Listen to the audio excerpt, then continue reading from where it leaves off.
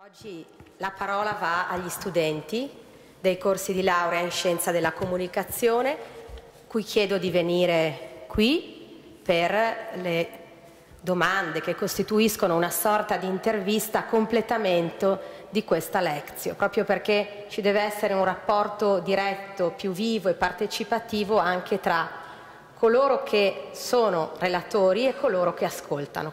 Prego. Magari se dite anche il vostro nome, se siete studenti del corso di laurea triennale, magistrale, state lì o volete andare? Come vi siete, come vi siete organizzati? Buongiorno signor Ministro e buongiorno a tutti. Sono Beatrice Contardi e sono una studentessa del secondo anno della magistrale in scienza della comunicazione. E in particolare io le vorrei chiedere, visto che ha nominato spesso i nuovi media, i social network e anche il caso particolare di Barack Obama, Qual è la sua esperienza nell'uso di questi social network? Cioè lei li utilizza all'interno del suo lavoro, non li utilizza? Quali saranno i prossimi passi nel futuro nell'utilizzo di questi social network? E quello che sarà secondo lei l'effetto sugli italiani? Risponde subito. Allora, sì, provo a essere rapidissimo. Sì, li utilizzo, assolutamente, non potrei farne meno, diciamo, seriamente. Eh, se non altro sono un appassionato di Twitter, e quindi lì ci casco. Eh, cerco di utilizzarli come provavo a raccontare prima nel modo diciamo più equilibrato possibile, soprattutto informando, informando di ciò che faccio costantemente. Abbiamo fatto un lavoro secondo me molto importante anche dal lato del Ministero, sostanzialmente portando il Ministero delle Politiche Agricole ad essere tra i ministeri che più utilizzano il sistema dei social, da Twitter a Facebook eh, a, agli altri, eh, con una innovazione profonda anche del sito e quindi ci siamo molto buttati diciamo, su questo fronte e devo dire che le risposte che otteniamo dai nostri utenti fondamentali, che poi sono gli agricoltori, i coltivatori, le imprese agricole, sono molto interessanti. Eh, diciamo anche una cosa, il mondo agricolo agroalimentare, quello agricolo in particolare, dentro di sé ha il massimo della conservazione, il massimo dell'innovazione, eh? anche nell'utilizzo di questi strumenti. C'è gente che fatica ovviamente a rapportarsi con questi strumenti, ma vi posso assicurare che ci sono straordinari imprenditori agricoli che utilizzano i social per fare business, impresa, in maniera straordinaria. Noi spesso e volentieri le intuizioni più efficaci nel rapporto tra eh, diciamo, questi strumenti e l'esperienza agricola italiana le abbiamo avute eh, da imprenditori agricoli, in particolare devo dire nell'esperienza vitivinicola. Mi fermo. Buongiorno, sono Ilenia Salinaro, io studio invece alla triennale di comunicazione, appunto stava riprendendo la domanda che volevo farle, essendo in un territorio pavese e quindi un territorio eh, nella quale sono molto importanti i vini ed è appena finita la vendemmia, volevo appunto chiederle come si può coniugare la produzione locale con la globalizzazione. l'esperienza vitivinicola italiana ci insegna, anche quella di questi territori, ci insegna che è assolutamente possibile stare radicati nel territorio e avere la testa veramente nel mondo. Eh, guardate, oggi le cantine, le cantine vitivinicole italiane sono un laboratorio formidabile di questo lavoro. Gente che ha innovato dopo la crisi radicale del vitivinicolo italiano degli anni Ottanta, scandali, e problemi strutturali dove sembrava che il vino italiano fosse praticamente all'anno zero e non avesse più futuro, da lì hanno ripreso con una capacità di innovazione, di investimento sulle tecnologie, sia di produzione che di comunicazione, straordinarie. Per dirvene una, noi eh, il credito d'imposta per l'utilizzo dell'e-commerce per le imprese agricole che abbiamo inserito in quel progetto Campo Libero a cui si accennava prima, ce lo siamo inventati perché eh, alcuni imprenditori vitivinicoli italiani ci hanno detto scusate se volete darci una mano stiamo investendo da tempo su piattaforme di e-commerce eh, autonome, cioè le cantine che si fanno i propri siti e-commerce per vendere in giro per il mondo, dateci una mano su quello. Quindi in realtà lì io ho avuto la prova provata che la realtà spesso è molto più avanti di tante nostre teorie, quindi potenzialmente lì ci sono strumenti formidabili di relazione con il mondo intero e sarà sempre più così, perché se guardate tutte le ricerche, ad esempio, e tutte le tendenze nell'utilizzo dell'e-commerce, in particolare per acquistare da casa eh, prodotti agroalimentari, beh, adesso magari siamo ancora quantitativamente bassi, ma potenzialmente la curva è a salire in modo vertiginoso. In particolare guardate a come alcuni mercati, non solo gli Stati Uniti, alcuni mercati mondiali stanno radicalmente virando sull'utilizzo di questi strumenti. Quindi lì c'è un potenziale clamoroso che secondo me può sopperire in parte, non in tutto, ad una storica mancanza del sistema agroalimentare italiano che è quello diciamo, del suo deficit sul versante logistico distributivo. Per capirci, noi non abbiamo come i francesi o come i tedeschi, ahimè, organizzazioni strutturate sul versante della logistica e della distribuzione mondiale. Possiamo provare a lavorare magari velocemente su questi strumenti per sopperire almeno una parte di quel gap. E quello che ha fatto il vitivinicolo italiano in questi anni è la prova provata che si può fare. Buongiorno Ministro, Buongiorno. mi chiamo Alessandro De Chirico e sono del secondo anno della magistrale qui di CPM. E concordo con lei riguardo l'e-commerce, la mia tesi triennale è stata su questo, quindi sono molto contento delle sue parole. Ehm, io però le volevo chiedere eh, circa il settore agricolo, che è un settore che presenta diciamo, naturalmente dei picchi lavorativi in periodi ristretti dell'anno, eh, come si può coniugare questa diciamo, tipicità del settore agroalimentare con gli investimenti sul lavoro e come invece la ricerca universitaria si colloca all'interno del settore agroalimentare? Allora, la ricerca universitaria e più in generale la ricerca, guardate, è un fronte fondamentale per il sistema agroalimentare italiano. E non lo dico in termini retorici, dico che noi abbiamo il dovere di impostare una strategia nuova che investa moltissimo sulla ricerca in campo agricolo agroalimentare, superando, secondo me, in barba a quello che dicono anche alcuni docenti universitari di cui ho il massimo rispetto ma che non condivido nelle idee, superando anche un po' diciamo, discussioni che abbiamo vissuto in questi anni e che traducono questo rapporto semplicemente solo sul tema OGM sì, OGM no. Io credo molto a questa cosa. Cioè, la prova di questi 18 mesi al Ministero ci dice che noi abbiamo la possibilità di sviluppare delle leadership sul versante della ricerca agricola agroalimentare se facciamo l'Italia, cioè se posizioniamo anche il nostro sistema di ricerca su una frontiera che non è quella della discussione che abbiamo ereditato fino a qui, per cui tutto si semplifica nello scontro tra pro-OGM e no OGM.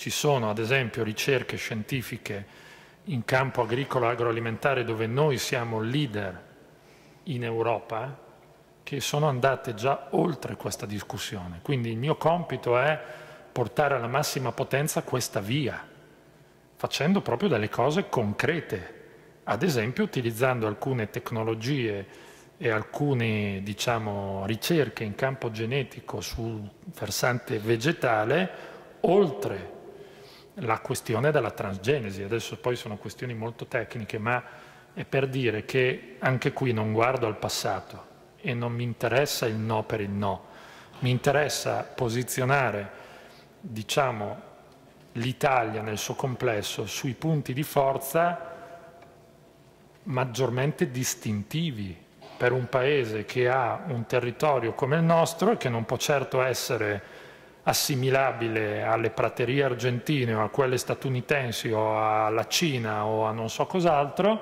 e che ha nella qualità, nella distintività, il suo tratto vero anche di competitività nel mondo. Cioè a noi ci riconoscono non perché facciamo la soia come gli americani, ci riconoscono perché facciamo le DOP e le IG eh, che poi vanno in giro per il mondo. Quella leva lì, a proposito di comunicazione, in un tempo in cui tutto rischia, di essere sostanzialmente identico, in un tempo in cui l'omologazione è come dire, un, un rischio possibile, essere distintivi, cioè avere precisamente un'identità, è un elemento di competitività o no?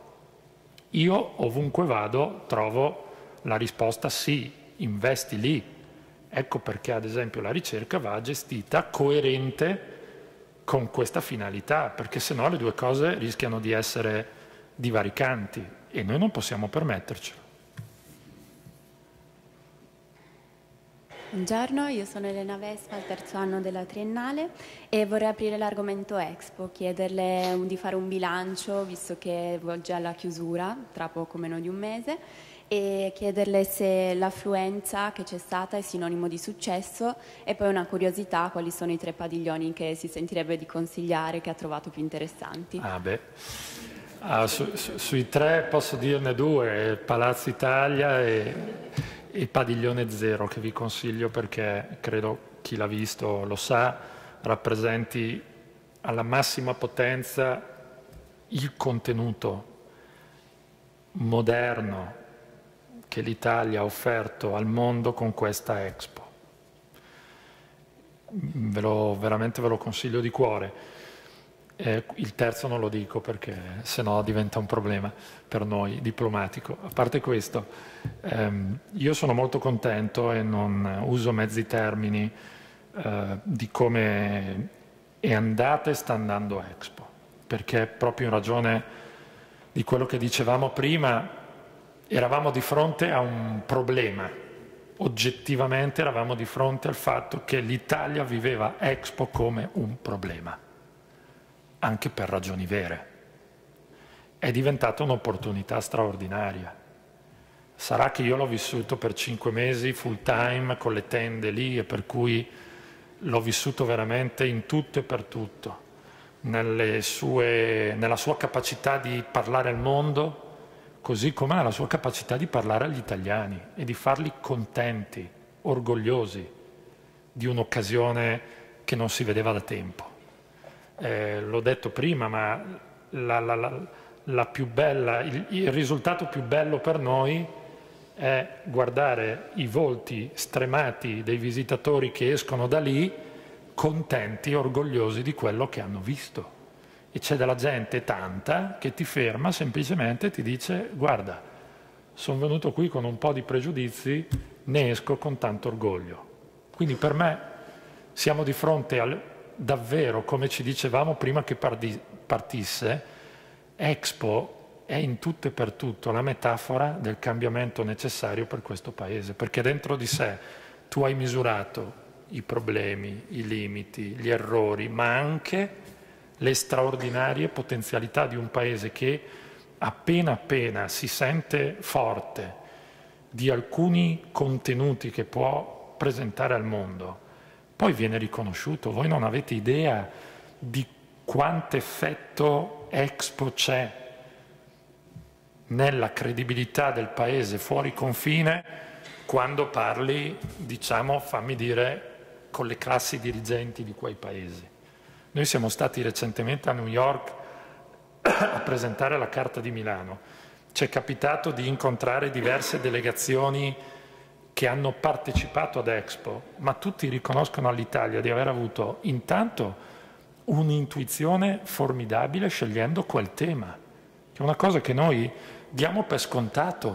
Per noi è scontato che l'Expo si facesse su nutrire il pianeta energia per la vita. Andate a vedervi a proposito di comunicazione come hanno utilizzato i contenuti le recenti esposizioni universali, cioè su quali titoli hanno fatto la storia di quelle esposizioni. Noterete una distanza, fatemi dire con un po' di orgoglio, abissale tra la forza propositiva di questa Expo e quelle recenti, da, da Saragozza, da Hannover, la stessa Shanghai non aveva un contenuto, aveva un paese, era la grande Cina che si presentava con le Olimpiadi e con l'Expo, ma non aveva un grande contenuto. Io davvero con orgoglio dico l'Italia con tanta fatica, però è riuscita anche ad ammodernare l'esposizione universale nel tempo in cui stiamo.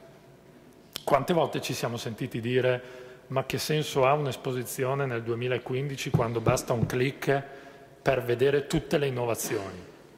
Vero, probabilmente basta un clic per vedere quasi tutte le innovazioni anche in campo diciamo agricolo, agroalimentare, ma fa una bella differenza eh? animare per sei mesi un confronto tra 140 pa paesi che hanno il dovere di venire in un luogo e di mettersi in discussione raccontando tecnologie, saperi, confrontandosi, facendo scattare un meccanismo che è molto più che un click. A proposito di era digitale e di fisicità, anche diciamo, delle occasioni. Quindi io sono molto contento e naturalmente siccome siamo al 5 di ottobre e mancano ancora un po' di giorni, diciamo che il giudizio definitivo lo diamo il primo di novembre. E invece per, per quanto riguarda l'ereditarietà della fis fisica del, delle strutture, che cosa accadrà esattamente in quell'area?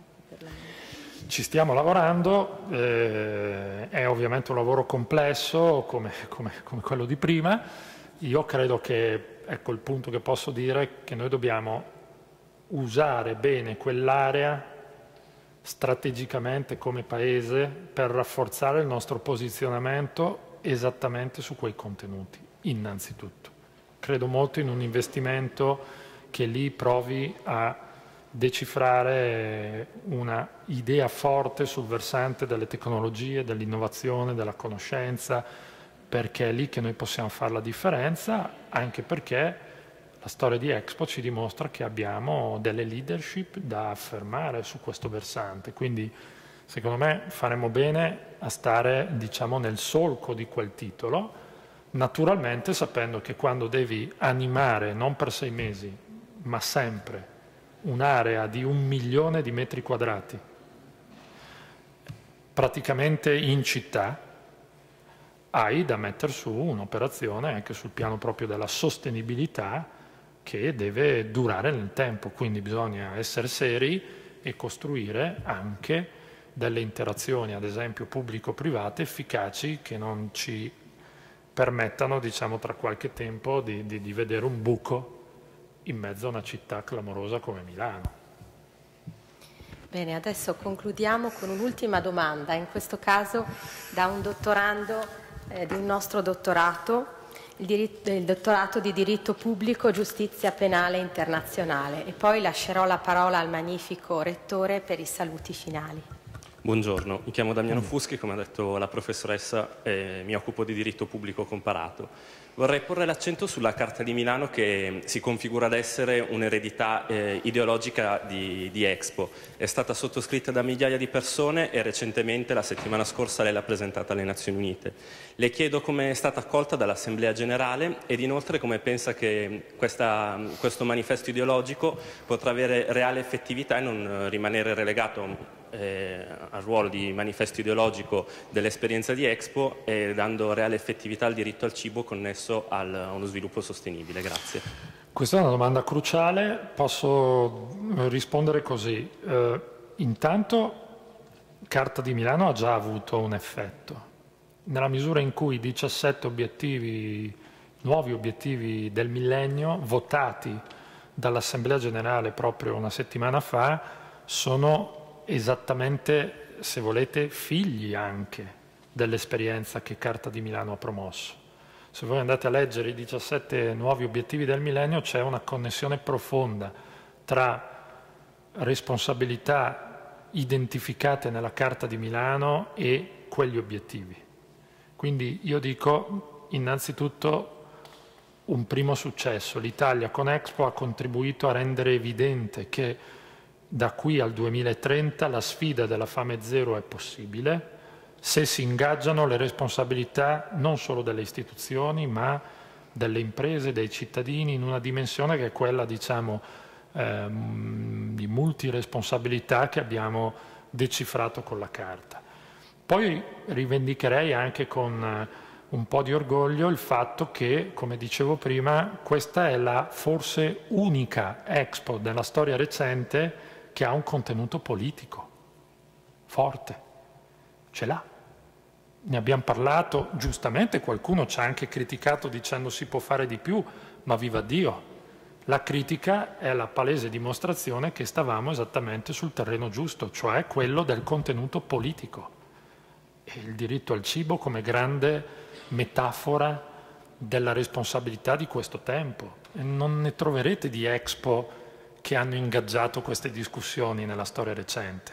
E io rivendico il fatto che noi abbiamo fatto questa scelta, con tutti i rischi del caso, perché poi ovviamente quando fai una carta che abbiamo voluto non come atto intergovernativo, ma come grande strumento di global citizenship, quindi di rapporto diretto col cittadino, quando fai quel lavoro lì c'è chi ti dice eh, ma non basta. È vero, ma è anche vero che Expo non è la piattaforma diplomatica formale che può fare ciò che ad esempio si può provare a fare in sede europea o in ambito ONU. Quindi io dico abbiamo contribuito a sviluppare questo lavoro. In chiave nazionale questo lavoro sta producendo dei fatti, ve ne dico due. Il Parlamento sta discutendo e spero chiuda rapidamente la legge nazionale, la prima legge nazionale per la tutela del suolo agricolo in questo Paese. È ancora una battaglia aperta, ma se ce la facciamo, quella legge sarà figlia della Carta di Milano, figlia dell'impegno che abbiamo avuto. Ve ne dico un'altra, lo sa benissimo Chiara Scuvera, il Parlamento sta discutendo la legge nazionale per la lotta allo spreco alimentare, con alcuni strumenti di innovazione di contrasto allo spreco alimentare, non solo in famiglia, ma soprattutto nei cicli produttivi, dove noi sprechiamo ancora un sacco eh, di, di, di commodity e più in generale di, di cibo. Se, come spero, riusciremo nei prossimi mesi a chiudere questa partita, sarà un risultato di Expo. Abbiamo approvato la legge per l'agricoltura sociale, è un punto d'orgoglio per questo Paese, una delle più moderne leggi di intreccio virtuoso tra sociale e agricoltura. E stiamo facendo tutta una serie di cose. Vorrei dire che anche le scelte del governo, ad esempio sul versante dell'etichettatura, sono figlie del fatto che ci siamo immersi in pieno nella responsabilità che Expo ci dà. Quindi ci sono delle cose interessantissime. Se volete, l'ultima, e chiudo, è il lavoro strepitoso che secondo me abbiamo fatto e si può ancora sviluppare sul versante educativo. Cioè il fatto che ci siano stati e ci siano migliaia, migliaia, sarà milioni alla fine di Expo, di studenti italiani arrivati in Expo dopo aver studiato, ragionato, riflettuto, ricercato sui temi di Expo, dai bambini della scuola materna alle università, ha prodotto forse la più gigantesca operazione degli ultimi anni di educazione civica in questo Paese, la più gigante, la più, la più imponente, perché ha portato tanti ragazzi io li ho visti e li vedo tutti i giorni nei padiglioni, a vivere l'esperienza da visitatori consapevoli, non solo come una gita, per l'amor di Dio anche, ma come un vero percorso educativo di formazione. Escono con più domande che risposte, ma quello è il suo bello. Quindi, insomma, tutte queste cose, secondo me, ci devono davvero far sentire orgogliosi perché eh, veramente noi abbiamo fatto un bel lavoro ed è merito di tutti. Bene, allora grazie agli studenti, grazie al Ministro.